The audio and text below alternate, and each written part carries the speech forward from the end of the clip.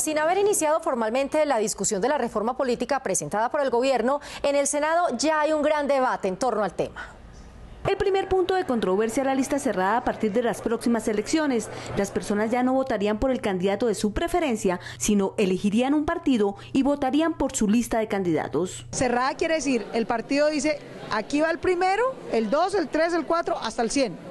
Y el elector vota por ese orden, vota por el logo del partido y por el orden que el partido puso. Muchos senadores consideran que ni los partidos ni el país están listos para elegir a sus gobernantes por lista cerrada. Portas de un debate electoral no se deben cambiar las reglas del juego como lo pretende el proyecto del gobierno nacional. Una cosa es lo que radiquen y otra cosa es lo que decidamos dentro del seno del Congreso. Yo soy en minoría de mi partido, pero yo soy hincha de la lista cerrada porque si no, no vamos a tener partidos nunca. Aquí lo que quieren es acabar, hundir a los partidos minoritarios y que volvamos a, a una circunscripción de dos partidos a nivel nacional. A eso no le jalamos. Además les preocupa quién define el orden en que irían los candidatos en la lista, pues de acuerdo al número de votos que saque el partido, se designarían las curules a proveer y serían elegidos los primeros candidatos que estén en la lista.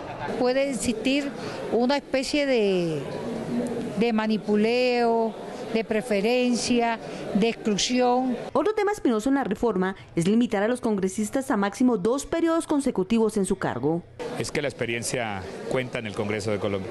Acá se requiere hacer todo un proceso de aprendizaje y luego de participación activa en el manejo de los temas para dar respuesta a lo que las comunidades esperan del parlamentario. Me parece que va bien encaminada la propuesta y busca básicamente una renovación de la política. En los próximos días la reforma será discutida en las comisiones primeras del Congreso y se deberá votar artículo por artículo, tal como lo ordenó la Corte Constitucional.